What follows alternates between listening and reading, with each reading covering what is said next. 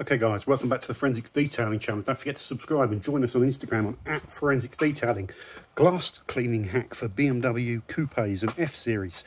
When you open the door, the um, the window drops down and then you, you don't get the true level.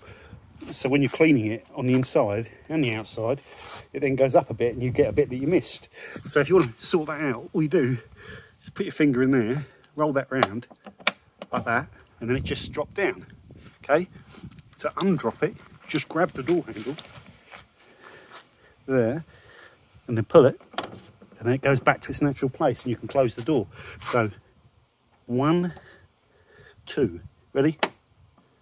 One, two, up it goes, and then door handle to open it. When you click it down, do, do not try and close the door because it won't shut because it's in a locked position.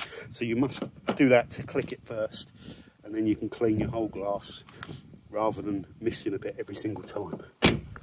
That is the hack. Does it work on other cars? Uh, I'm sure it does. I'm, I had the same problem on this car. I open it, it drops the drops the glass. I've not tried this, but so it should be the same principle. Down it goes once, down it goes again.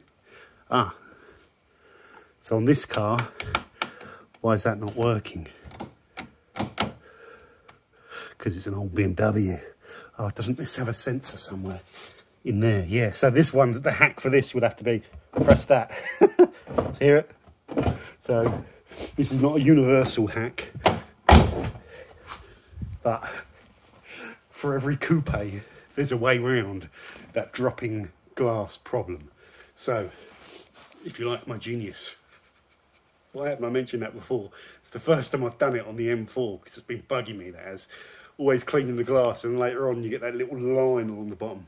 That's the kind of guy I am. Um, so uh, let me know if you've got any cleaning tips as well. Putting the um, wiper blades into maintenance mode is handy as well for uh, making cleaning the glass easier. Thanks for watching. See you soon on the Forensics Detailing channel. Bye for now. Bink. Oh.